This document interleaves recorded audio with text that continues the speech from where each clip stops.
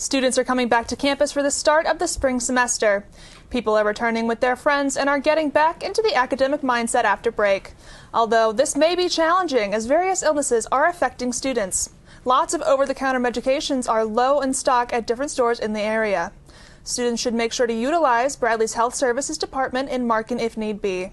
They are open Monday through Friday, 8 a.m. to 12:30 p.m. and 1:30 to 4:30 p.m.